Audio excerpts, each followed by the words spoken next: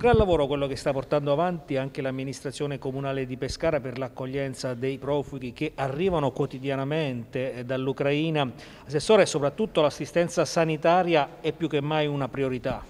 Sì, il Comune di Pescara è in prima linea per garantire eh, diciamo, la sicurezza sanitaria perché eh, questi, queste persone, soprattutto mo, eh, mamme e bambini che arrivano a Pescara, eh, ovviamente poi potrebbero in qualche modo eh, contagiare la popolazione residente. Per evitare questo abbiamo eh, in ovviamente collaborazione con la ASL attivato una rete di controllo preventivo sanitario attraverso tamponi che verranno somministrati puntualmente all'arrivo di queste persone. In più,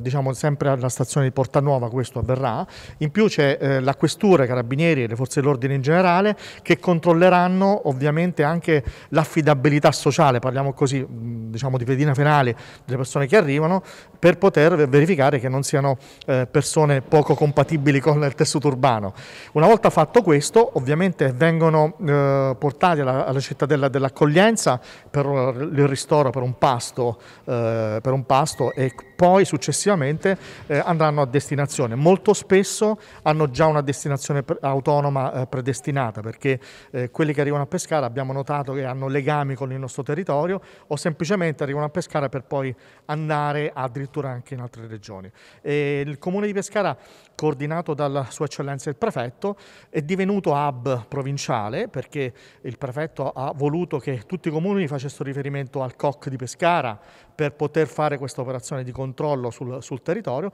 per poi essere dislocati anche negli altri comuni per chi ha legami negli altri comuni. In questo modo riusciremo a centralizzare, governare e controllare eh, quelli che sono i flussi di arrivo che sono molto difficili perché eh, praticamente arrivano anche alla spicciolata, ci sono eh, persone addirittura che ieri mi dicevano sono arrivati in autostop e quindi è ovvio che sono eh, difficili se effettivamente vanno in tutti i comuni della provincia. In questo modo abbiamo centralizzato eh, diciamo, il governo del flusso in modo da far star tranquillo ovviamente dal punto di vista sanitario e sociale, come dicevo prima, anche il territorio.